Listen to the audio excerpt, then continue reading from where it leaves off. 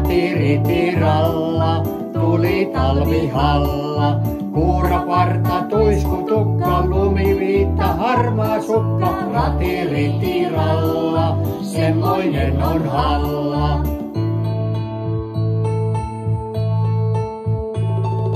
Ratiritiralla, mistä tuli halla, tuolta pohjan tunturilta, Lapin lasten laitumilta, ratiritiralla, sieltä tuli halla.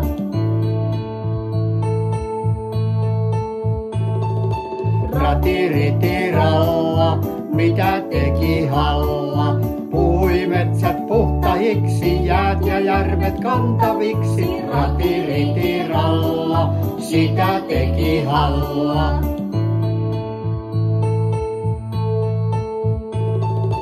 Ratiritiralla, hyvin teki halla.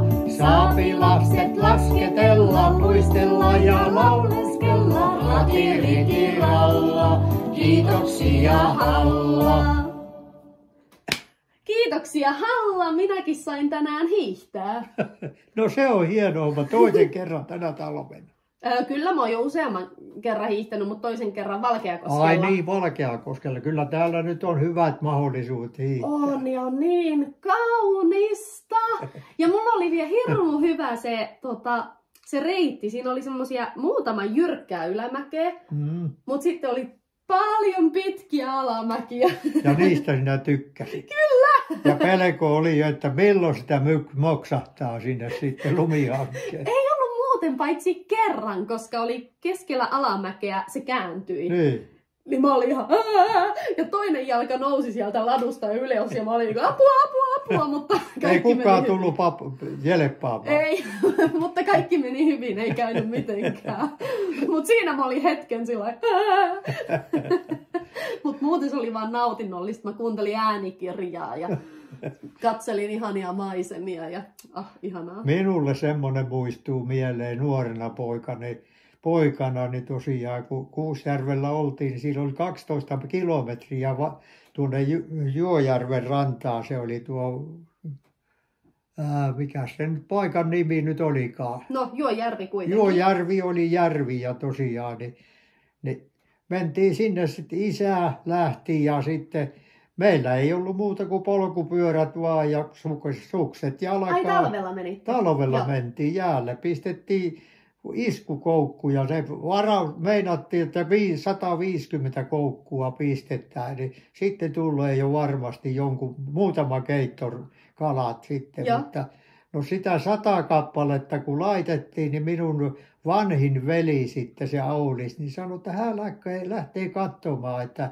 joko siihen on kerinyt tulla. Ja se kun oli semmoinen hieno ilma oikein, niin niitä tuli niin paljon haukea, ei siellä mitään muuta kuin haukea Joo. tuli niin isoja, neljä, viisi kilosia ja semmoisia, niin ei meidän tarvinnut enempää. Ja tuota, kyllä siinä oli sitten aikamoinen määrä kantaa niitä sitten, Ah, ihanaa. sitten isoja kaloja sinne sitten kotiin ja siinä on se 12 kilometriä sitten, niin kyllä sitä vaan kaikki meni hyvin ihan, että ja siitä vaan sitten saatiin särvintä sitten Niinpä. syödä sitten. Niin, Mä muistan, me käytiin kans pilkillä silloin, kun mä olin pieni. niin, Niin tota, siellä teidän vanhalla mökillä niin tuossa talvella. talvella, joo joo. Ja sitten me laitettiin nuotio siihen jäälle. Joo, se oli musta kyllä. jännää, että... Kuvaakin on siitä. Joo, mutta se on musta jännää, että se ei ollut mitenkään vaarallista, että Ei, se kyllä sulattaisi reijän siihen. Ei, kyllä se semmoista on, että tosiaan vahva jää, niin sitä ei, ei saa helpolla Mm. puhki sitten siitä. Ilmeisesti. Paitsi ainoastaan, jos rupeaa hakkaamaan sitten, että tekee sen reijän. Oliko teillä muuten tota luistimia silloin? Ei ollut, Okei. ei ollut.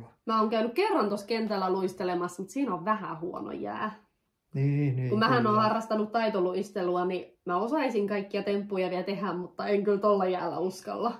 Kyllä tämä talvi on ihanaa, kun voi liikkua ja urheilla. Et se oli jällöttävää, kun oli märkää ja pimeää. Nyt on niin ihanaa ja voisi olla ulkona koko päivän. No mikä, että eihän siinä mitään. Kyllä minä olen nyt ainakin, kun joka päivä on melkein 10 senttiä lunta tullut, niin kyllä siinä on aikamoinen pitkä pätkä tuosta 25 metriä varmaan on tuohon, mistä nyt sisään tullaan Niin, tänne. niin. Niin, niin lunta Sä oot tehnyt lumitöitä vaikka no, kuinka. Mutta mä oon tarjonnut monta kertaa, että mä tuun tekemään, niin sä sanot, että ei, että on kiva, kun on tekemistä ja saa liikuntaa. No ja... näin on kyllä. Että Taidat sä 50, tykätä. 51 vuotta on tästä tullut tehtyä, niin se on vähän niin kuin sitten jos se luovuttaa toiselle, niin mitäs minä, pyöritänkö minä peukaloita No niin.